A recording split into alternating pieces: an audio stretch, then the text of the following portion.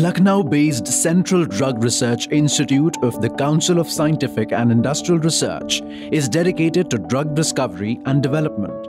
The institute has developed precision medicine for cerebral malaria, bone health and is also engaged in cancer biology research.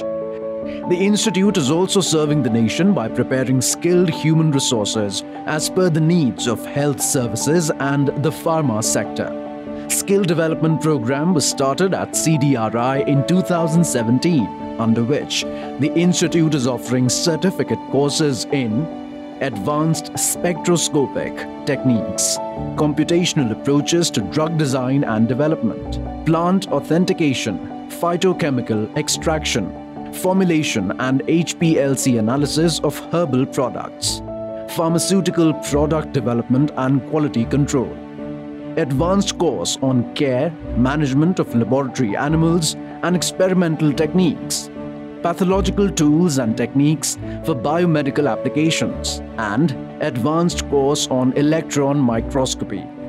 From 15th of February 2021, CDRI is going to start the new batch of pathological tools and techniques for biomedical applications and computational approaches to drug design and development.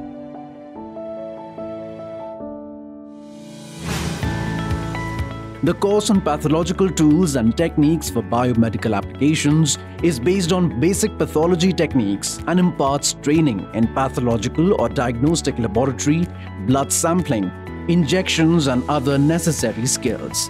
Essential qualification for this course is a minimum 10 plus 2 with science subjects. After passing this course, candidates can get good opportunities in urban as well as in rural areas. The second course to start on 15th February is Computational Approaches to Drug Design and Development. It deals with the theory and application of various techniques in pharmacological research and informatics applications in the pharma industry to improve efficiency, quality and risk assessment in the development of pharmaceuticals, formulations, agrochemicals and molecular materials.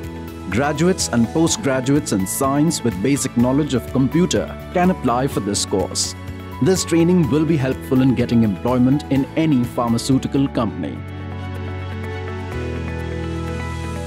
COVID-19 crisis has burdened health services the most, and this has increased the demand for skilled human resources in various procedures related to life sciences. Skill development programs offered by CSIR CDRI are designed to meet this demand and open new avenues for employment.